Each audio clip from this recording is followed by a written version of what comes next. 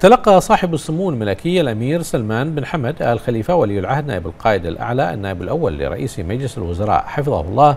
برقيه شكر جوابية من سمو الشيخ عبد الله بن حمد ال خليفه الممثل الشخصي لجلالة الملك المفدى رئيس اللجنة العليا المنظمة لمعرض البحرين الدولي للطيران هذا نصها.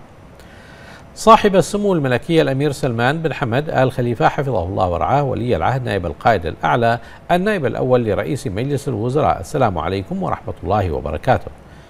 يشرفنا وبكثير من الاعتزاز أن نرفع إلى مقام سموكم الكريم حفظكم الله أسمى آيات الشكر والتقدير على دعم سموكم لمعرض البحرين الدولي للطيران لعام 2018 ميلادية في نسخته الخامسة والذي أقيم بقاعدة الصخير الجوية.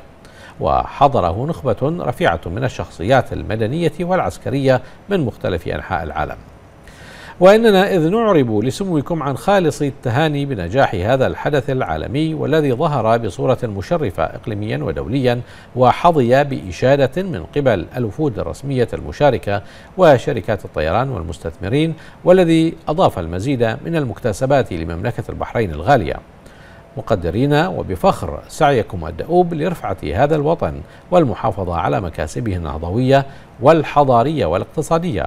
وذلك من خلال دعمكم اللامحدود لمعرض البحرين الدولي للطيران ومختلف الفعاليات التي تقام في مملكة البحرين. مؤكدين لسموكم أننا سوف نسخر كل الإمكانيات لدعم عجلة الاقتصاد والتطور في مختلف المجالات ومساندة كل الجهود الخيرة والخطوات المباركة التي تطلعون بها سموكم لتحقيق المزيد من التطور والازدهار لمملكتنا الغالية. وفقكم الله يا صاحب السمو الملكي وسدد على طريق الخير خطاكم. وكلل بالتوفيق كل جهودكم المخلصة لتحقيق كل ما تصبون إليه من طموحات وأمال لشعب البحرين. والمزيد من التطور التنموي والاقتصادي لمملكة البحرين في ظل العهد الزاهر لحضرة صاحب الجلالة الملك المفدى حفظه الله ورعاه. داعي الله أن يطيل عمركم وأن يبارك جهودكم وأن ينعم على البحرين بالمزيد من التقدم والرخاء. وتفضلوا سموكم بقبول أصدق, أصدق مشاعر الاحترام والتقدير ودمتم بعون الله سالمين.